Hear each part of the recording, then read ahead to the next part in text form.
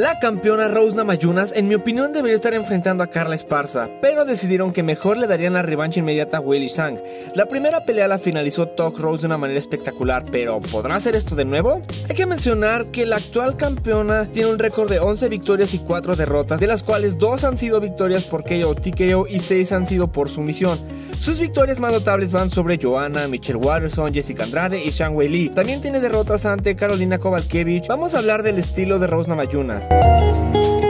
Rosa Mayunas tiene una guardia diestra muy poco común. Las palmas de las manos las tiene abiertas y se mueve de lado a lado, un estilo muy característico de ella, al igual que el movimiento tanto de pies como de cabeza que es útil para poder esquivar golpes retrocediendo y poder entrar y salir de una manera veloz. Podemos ver que siempre se encuentra moviéndose sobre sus puntas, difícilmente vamos a ver que pise con toda la planta de ambos pies.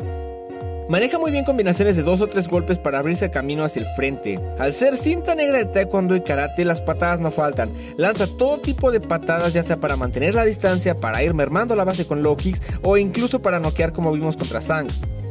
Siempre está en movimiento brincando y desplazándose. Su constante movimiento lateral y frontal la convierte en una verdadera amenaza para la edición, pues le proporciona movimiento como nadie lo tiene a 115 libras. Cuando sus oponentes intentan ir al frente para superarla con puños, la Mayuna saca los mejores golpes al contragolpeo. Tiene un estupendo cabeceo y al moverse sobre sus puntas tiene gran facilidad para poder desplazarse y recibir embates, para posteriormente entrar, conectar y salir. También suele utilizar este cabeceo para acercarse lentamente a su enemigo e ir acortando la distancia. Su boxeo además es contundente como pocas personas lo tienen en la división. Su jab es una de las mejores armas que tiene. En cuanto a su wrestling, Namayunas no ha enfrentado a una verdadera wrestler en mi opinión desde que enfrentó a Carla Esparza y perdió contra ella. Sin embargo, una técnica que ella utiliza mucho es cuando conecta underhooks desde el clinch y hace el derribo insertando su rodilla. Es cinta marrón de Jiu-Jitsu y tiene un juego sólido en el piso. Cuando se trata de ir al piso, Namayunas no tiene miedo e incluso propone llevar la pelea en este terreno. Ahora vamos a hablar de la ex campeona Wei Lee que también es muy peligrosa. No hay que dejarnos llevar por su último knockout. En realidad tiene muchísima experiencia y tiene muchísimos combates. De hecho la mayoría de sus combates han sido fuera de la UFC. Así que vamos a hablar de ella. La ex campeona tiene un muy buen récord de 21 victorias y 2 derrotas. Y hasta antes de perder contra Namayuna se encontraba invicta dentro de la compañía. Dentro de la UFC tuvo un recorrido muy corto para poder conseguir el título, al menos en comparación con Namayunas. Y tiene victorias notables ante Jessica Andrade y Joanna.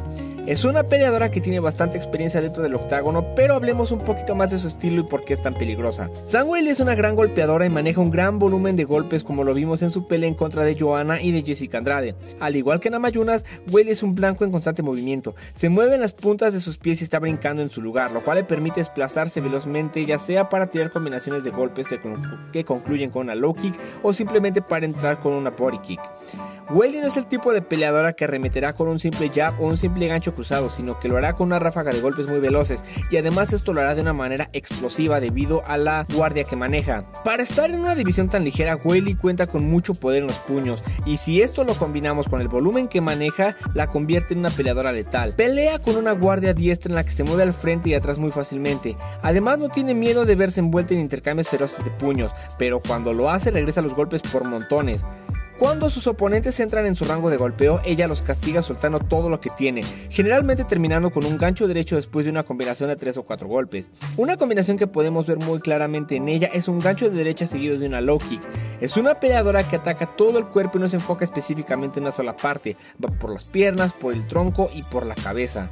En el clinch suele terminar ganando debido a su fortaleza física y además los rompe con codazos o golpes de corto alcance. En cuanto a su wrestling, vamos a decir una cosa muy clara, y es que nunca ha sido derribada, al menos no por el uso del wrestling, y ha terminado en la posición de bajo, o dicho de otra manera, nunca ha sido derribada y dominada en el piso. Cuando esto ocurre, Whale inmediatamente revierte la posición y termina por adueñarse del mismo derribo. Además, un derribo que utiliza mucho es cuando utiliza su pierna y le encaja para poder hacer el takedown. No tiene miedo a intentar llegar a ras de lona e incluso puede llegar a someter en ese terreno. En conclusión, ambas peleadoras son muy buenas en todo terreno, pero principalmente son strikers. Whaley ya fue noqueado una vez por Namayunas y lo malo de que haya ocurrido tan rápido en el combate es que Sang no pudo obtener mucha información sobre todas las herramientas que Namayunas posee, al menos no de una manera tan directa como ocurre en el octágono. Y además, eso es algo que también pasa para Rose. Ambas están en constante movimiento, aunque de diferentes formas, pero las dos son durísimas e incluso me atrevería a decir que el combate estará muy parejo. Sin embargo, les voy a dejar a ustedes que hagan su predicción. ¿Quién vencerá? Si les gustó el video, los invito a darle like, suscribirse, compartirlo con sus amigos y activar la campanita para que siempre estén enterados de todo lo que tenemos en este canal. Y yo me voy, pero nos vemos en el siguiente video. Bye.